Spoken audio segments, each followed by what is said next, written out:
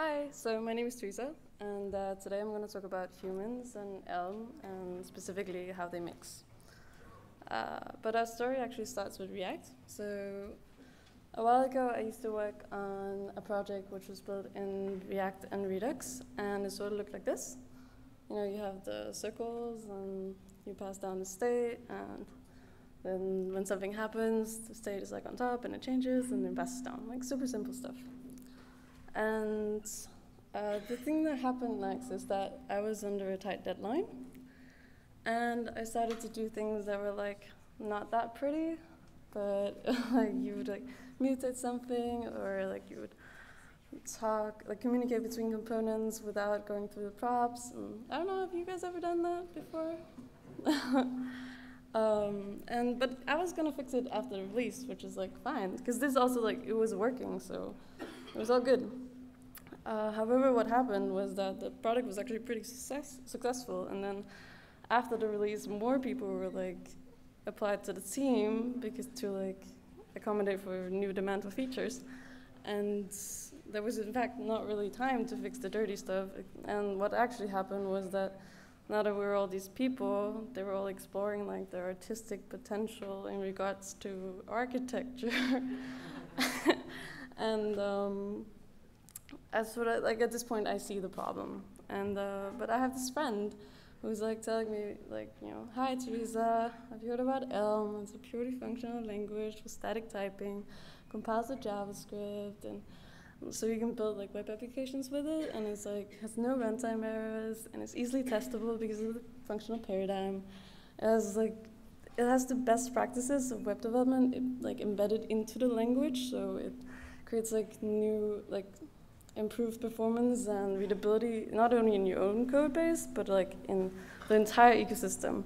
And has, oh yeah, and has enforced semantic versioning and like amazing error messages. But like, I'm busy at work. and I'm like, you know boy, you coming around here telling me about your new language? Well, you know what, I, don't, I got things to do today. So um, I know we have some problems, but we're solving it. And so uh, we keep solving it, but the management really wants like new features and stuff. And so the moral on my team is like slowly declining because the developers don't get to do the beautiful code thing. And like every time they pick up a component, it just kind of crumbles in their hands and just leaves more bugs than before. And the management is also unhappy because they don't get the very important features. And then this is like obviously an unsustainable situation. And so I go talk to the management and like discussing the option for like doing a refactoring and I'm pretending that there is a choice in the matter. and it's like sort of an, an, uncomfortable conversation because you have to admit that, you know, there was mistakes made because like obviously this is not what a React con like code base is supposed to look like.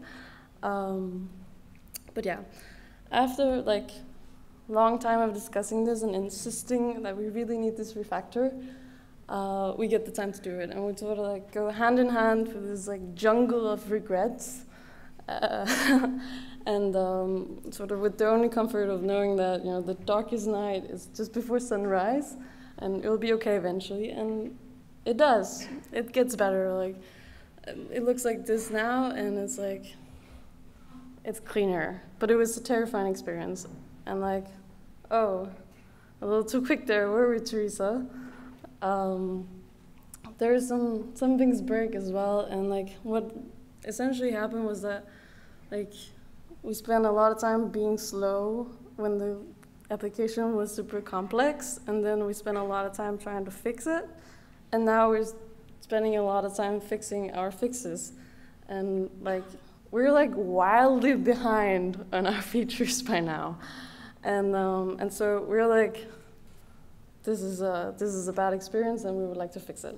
So we we're like, okay, how do we fix it? Okay, we're just gonna learn all the best practices and become really good and like carry the word of Facebook in our hearts wherever we go in the code base. It's gonna be great. Um, however, like I look around myself and I'm like looking at other systems in our society which rely on like human discipline. and the results are often like disappointing. if you just like a random example, like NASA, have you ever heard that story about they launched this rocket and then seven people died because it crashed?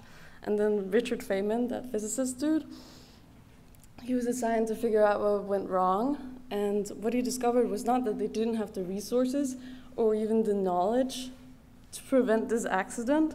It was just that the like the safety criteria has just like slowly been declining over the course of like a few years. And so this rocket should actually like never has been sent up. It was just because humans are like just inherently bad at keeping up this discipline and criteria. And like I realize that less people die when undefined is not a function. but essentially we're dealing with the same problem. Uh, humans are, I think, just, they're the wrong tool for keeping up these criteria. And, um, and so when my friend comes around again, I'm like, and he's like, I tell him about what happened. And he's like, well, wouldn't that be cool if it never happened? And I'm like, yeah, I guess that would be kind of cool. and so I take a look at Elm, and I'm like, what is with the commas? Uh, and like the types are also a little like unfamiliar to me. I'm like, what's with the like? So the expression is always the return value, and that's also like all this, all this new stuff, and like, what's with these like operators and things? Those are the ones the Nicks were actually talking about, which are turns out to be pretty cool. But I'm more like focusing on what's with these elements being functions and like where's my JSX? God damn it! um, but like, eventually, my eyes adjust even to the commas, and I sort of get over it, and I start to enjoy like the good parts of Elm, which is like the error messages and how I can like find incoherencies in your logic and like hints to how you can fix it and stuff like that, and track if you're missing error handling somewhere. And if you're coming from Redux, then, like I am, then the architecture was actually quite familiar because Redux is inspired by Elm, and it's basically like just a bunch of renaming going on. And like the only different, real difference being like that all the functions are now only pure. Like you can't have views which are not stateless. And it's like organized slightly different. So in Elm, you would always keep the reducer and the view together if they're dealing with the same data structure. But like this just makes it like kind of easy to navigate around. The real difference though being that now the simplicity is like compulsory. And it means that whenever humans are dealing with Elm, like, and like trying to mess it up for themselves, then computer just goes like, I'm sorry, Dave. I'm afraid I can't let you do that. Uh, and six months later, you still have like the same nice architecture, and that's like neat. So that's like cool. Um, there's a but though, as always. There's like no server-side rendering, and I'm sorry I couldn't find a better emoji to visualize that. So now you're gonna have to deal with the Space Invader. Um, and there's no way to like easily manipulate the DOM, like make mutations to the DOM, and like that's not gonna change. So like if you have to do that a lot, like don't use Elm. and it doesn't have like the same like huge ecosystem like React does. Um, but there's some like pretty high quality packages on there though. Uh, but like if you can do without this, it's like it's pretty cool. And so at this point, I'm like pretty favorably disposed towards Elm, but I'm also sort of curious as to like what is like to program like beyond the counter. and uh, so I started working at Inc., which is uh, like the biggest Elm code base in the world. We have over 100,000 lines of code in production. And uh, as Brent also mentioned, we also employ the guy who makes Elm, so that's convenient. Um, and the way it works over there is that um, we used to have like an entire code base of React, but now we're like slowly porting it to Elm because you can, just saying. um, but like, what's really cool about this now that like worked there for a while is that this architecture, even though like it's been years now, it still looks the same. And the feeling you have when you develop in it is very different because you have like this confidence, and because the compi- you have the compiler to tell you if you're doing something wrong. And this shows in particular when uh, you do refactorings. So like this pull request is from when I just been at NoRedInk for like a month, and like I was in this huge unfamiliar code base, which was like a hundred thousand lines long, and I was changing something that was like really central for the entire application and touching more than like a hundred files. And I was completely calm doing that because like the compiler would tell me if I was messing something up.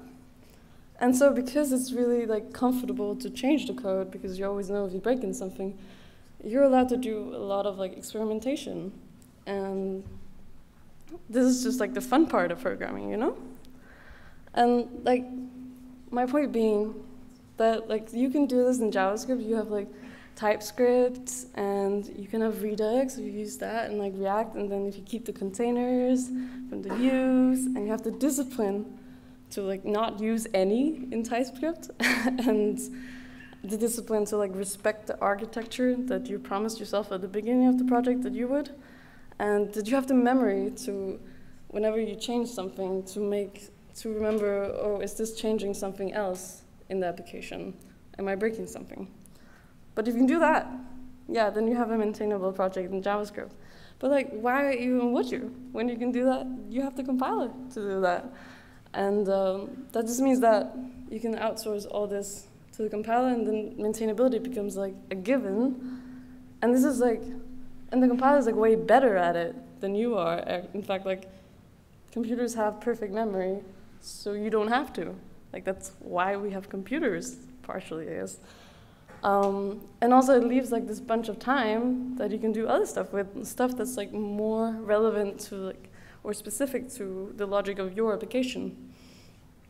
And so, which brings me to my last point, which is like the most important to me is like what I do in my everyday is very different now that I work in Elm than it was that I worked in JavaScript. Because before I would think a lot about like where does my state go? Should I just go in the store? Should I go in the local state? And like something would break and I'd be like, why is undefined not a function? and I'd like I would go somewhere new in the application and like in the code base, and I'd be like, what is even going on here? Because it could be anything. And now I spend my time thinking about because these questions sort of like already solved in Elm. You can only do it one way in architecture-wise.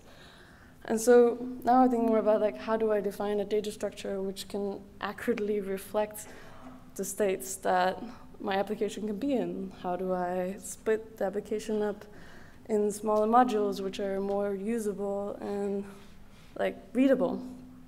And how do I create APIs with these modules which actually do not only make these data structures easy to work with, but also like like create APIs which you cannot misuse like if you're by accident. So if somebody else, put another way, like how do I embed the most information into my APIs?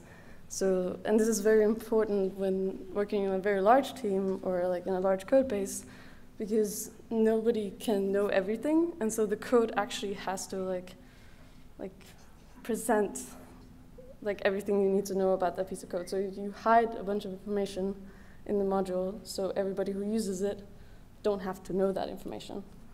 And this is really great, I think, because I don't care why undefined is not a function, but I care about what makes a good API, and Elm gives me the tools and the time to do more of that and try to solve that problem. So if that sounds appealing to you, then maybe you should try it out. So like, thank you.